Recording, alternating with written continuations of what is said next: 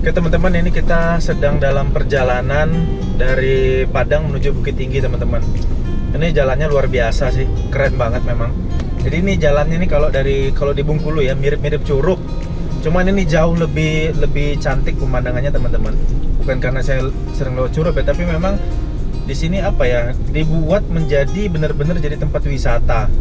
Apalagi ada air terjunnya tadi ya. Cuman nggak sempat kita shoot tadi ya. Ada air terjunnya, terus rumah makannya rumah makan beneran teman-teman. Bukan bukan gubuk-gubuk. Terus tadi kita juga sempat lewat ada dua tempat bermain anak. Kayak kolam air yang cetek-cetek gitu bisa buat main anak-anak. Besok kita coba Odi main di sana. Dan ini jalanannya lebar-lebar teman-teman. Kalau curug kan jalannya sempit-sempit kan? Kalau ini jalannya memang benar-benar lebar walaupun ya nanjak belok-belok khas jalan pegunungan. Cuman memang kita dimanjakan dengan pemandangan yang luar biasa ini nih cakep banget sih emang jalanan di Bukit Tinggi nih satu hal yang saya kagum sama Sumatera Barat ya teman-teman. Dari Tapan kita kemarin sampai keliling kota Padang terus sekarang kita menuju kota Bukit Tinggi itu jalanannya bener-bener mulus banget. Aspalnya aspal bagus gitu loh bukan aspal yang kasar tuh enggak. Beda kalau kita kayak ke Palembang ya Sumatera Selatan. Di Palembangnya bagus aspalnya di kota Palembang. Cuman begitu keluar kota Palembang kan masuk Betung itu aspalnya udah nggak keruan itu. Sampai Bengkulu tuh aspalnya udah nggak keruan itu. Beda gitu kalau Sumatera Barat itu kayaknya memang mereka mereka tuh bener-bener ingin menghubungkan antara kabupaten di provinsi tersebut untuk memajukan kabupatennya gitu loh. Jadi memang dibangun bener jalanannya mulus mulusnya mulus banget. Ya gitu niat pemerintahnya ya.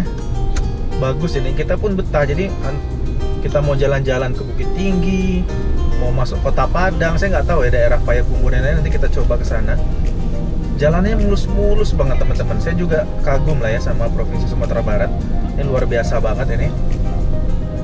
Gubernur bupatinya benar-benar membangun daerahnya.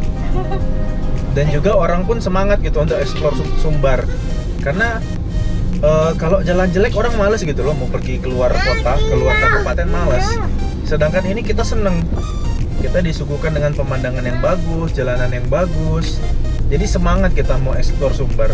Sehingga itu ya meningkatkan perekonomian di daerah. Jadi nggak bukan Padangnya aja yang dibangkit dibangun gitu ya. Ya Palembang kan Palembangnya luar biasa megah dibangun.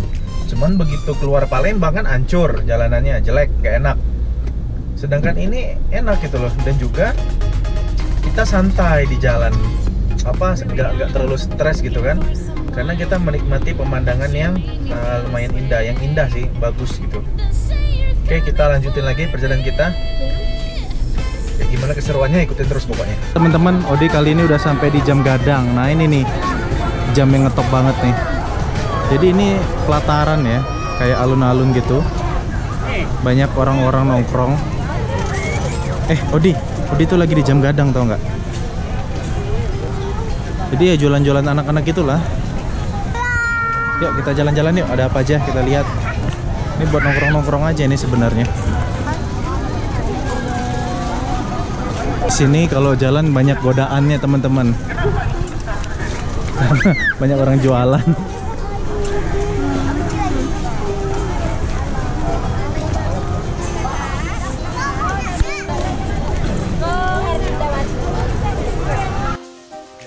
daerah dataran tinggi nih. Jadi bisa ngelihat kota Bukit Tinggi dari atas nih teman-teman. Pas di sebelahnya itu ada Plaza Bukit Tinggi ada Ramayananya. Kayaknya ada tempat main anak-anak itu zone 2000 itu. Nanti kita masuk buat main Odi. Nah sekarang kita yang mau cari itu rumah makan nasi kapau Unilin. Kayaknya sih di daerah-daerah situ tuh. Yuk kita langsung cari aja Emang udah ngerti apa? Pokoknya Odi ikut terus. Ya udah ngeliatin jam doang nih.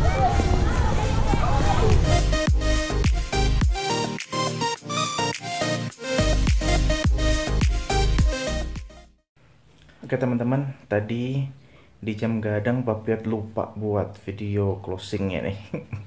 Karena jadi di Bukit Tinggi tuh yang pertama kali kita kunjungin itu adalah Jam Gadang. Jadi Jam Gadang itu dia letaknya ada di tengah-tengah persimpangan. Jadi sebenarnya di Jam Gadang itu nggak ada apa-apanya sih, cuma Jam Gadang doang gitu ya. Sama jualan mainan anak-anak. Di situ memang eh, orang-orang situ ya pada duduk-duduk gitu loh. Makan jajanan di situ sambil ngeliatin Jam Gadang. Udah cuman itu aja, nggak ada yang gimana gimana banget ya, sekedar oh ini Jam Gadang tahu gitu. nah, serunya itu sebenarnya ada di uh, pasar sekitaran Jam Gadang. Karena di situ banyak jualan baju-baju khas Padang yang tulisan-tulisan Padang itu. Kayak kalau di Jogja tuh udah gaduh gitu kan kalau Palembang nyenyes. Nah kalau di Padang tuh ada juga dia baju-baju yang tulisan-tulisan lucu. Jadi sebenarnya daripada di jam gadangnya kalau menurut kami lebih seru ke pasarnya itu karena kita bisa belanja banyak oleh-oleh baju gantungan kunci dan segala macamnya. Nah terus uh, selain belanja baju kita juga sempat makan di nasi kapau. Nasi kapau unilis. Nah jadi nasi kapau unilis itu pernah masuk trending nggak sih dia yang? Eh. nggak tahu ya.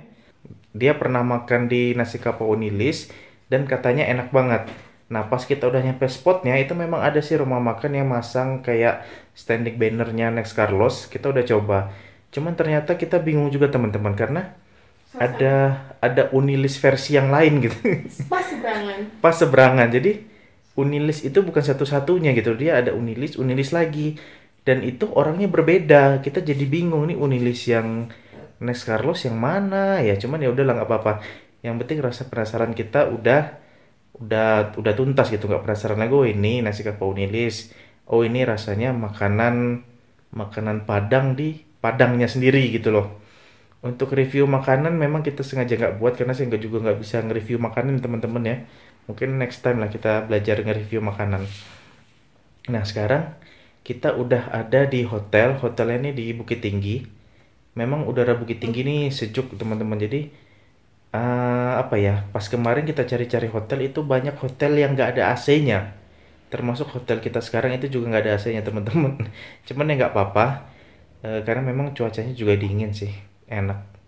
Nggak nggak kepanasan kita.